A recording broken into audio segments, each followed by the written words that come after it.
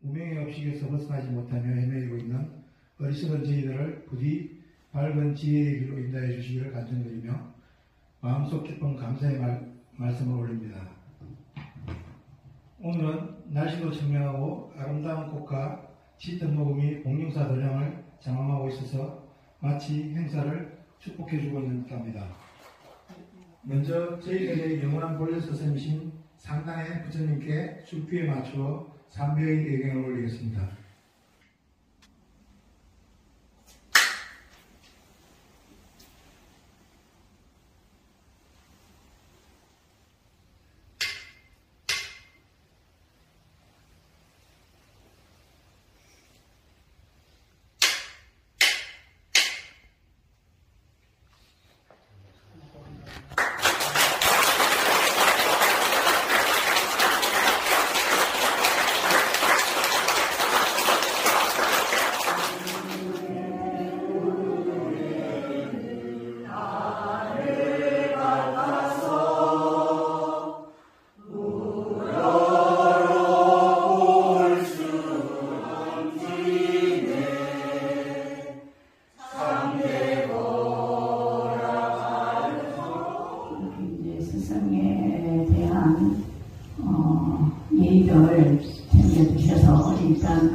감사드리고요.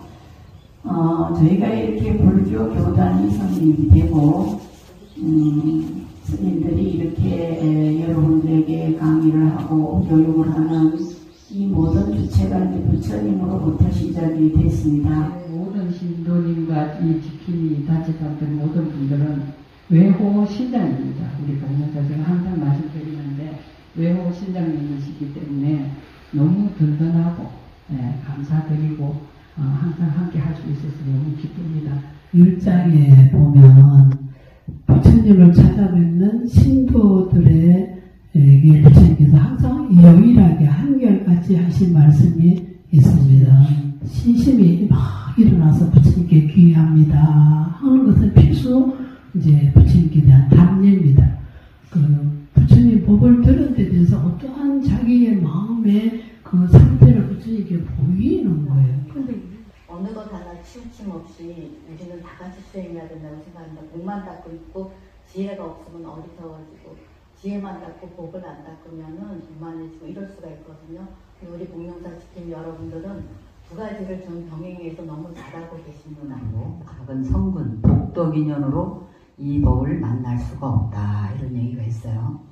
그래서 과거 생에 많은 부처님을 승사 시봉하고 공양을 올린 공덕으로 지금 우리가 이렇게 쉽게 만나는 것 같지만 이렇게 좋은 도량의 승가를 여러분들이 묘하면서 복덕과 지혜를 닦을 수 있는 인연이 과거 생에도 많은 그런 부처님들을 시봉하고 어, 공덕을 짓고 공양을 올린 인연으로 만나게 된 것이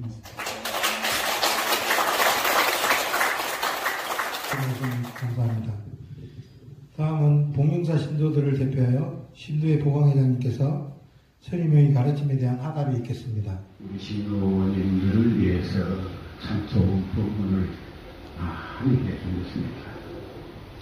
스님 큰 스님께서는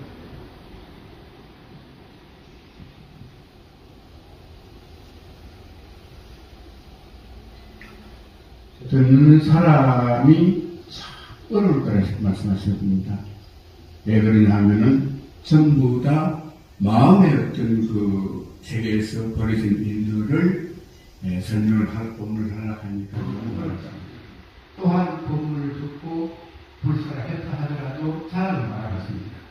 우리는 걸려 있어가지고 대살짜리 어린애 한테 사탕 하나를 줘도 그것이 자랑하고 큰 스님의 이 말씀을 가슴, 가슴 깊이 새겨서 좀 더 실천하고 좀더 수행을 해서 나보다는 남을 위하는 불자가 되도록 노력을 합시다. 감사합니다.